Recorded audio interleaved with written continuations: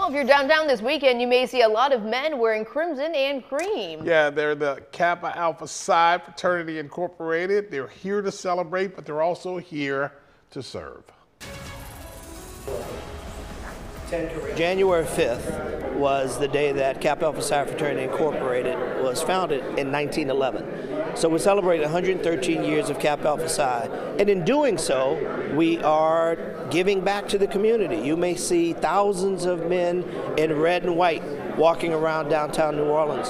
And they're here for a conference, but they're also here to give. Congressman Troy Carter is a proud member of the Kappa Alpha Psi fraternity, and the giving happened at the New Orleans Mission, right in step with the mission of the fraternity. Where our founders saw fit to establish a fraternity of men like minded who wanted to see the improvement of the condition of all of mankind.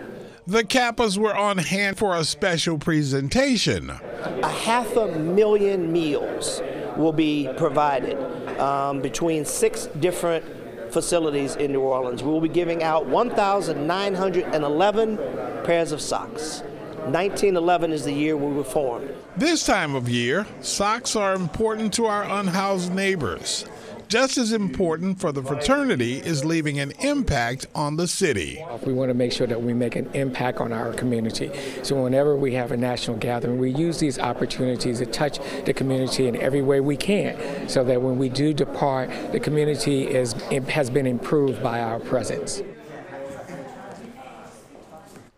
Today, the Kappas are hosting a panel at St. Aug, reading and distributing books at Hynes Charter, and a blanket giveaway for seniors at St. Martin Manor.